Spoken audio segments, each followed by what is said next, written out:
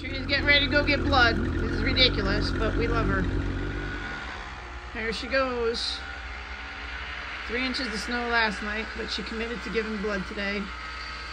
I know how important this is to her. She's an angel donor. She's my girl. All right, so this is reality. So I had a blood donation appointment. Kind of thought about canceling. We had three inches of snow, and I'm like, nah, I got this. So I had a friend meet us, but I screwed up, and I should have changed the meet point, and I didn't.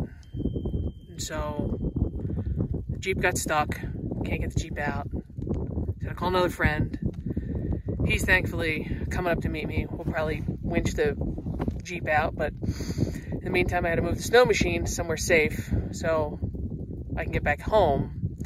So now I'm sitting on the side of the road in the snow, and it's like this, I don't know, it's this wet snow. Feels like rain. Hurts my face. I keep putting the helmet down over my head. So it's like 12:30. My appointment's at 1. I'm probably going to be late.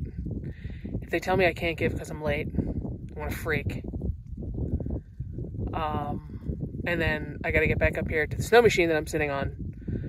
Um, and then get home. So it's going to be a heck of a day. And you know, you like you like this. So uh, I'm just gonna sit here and wait. I'll let you know what happens. I don't have many bad days. Like since we moved here, my bad days are minimal. This is a bad day. You know, because I looked on Facebook. Facebook memories told me that last year was 60 degrees today. It's not, well, like one year ago, it was 60 degrees today. Today it's like, I don't know, 30 and three inches of snow. It's still snowing. It says it's gonna snow till three. This is the winter that won't end. Do I sound miserable? I'm a little, I'm a little freaking miserable. Been dropping the F bomb. I keep looking for our friend Tony. He's not here yet. I'm sitting in the snow.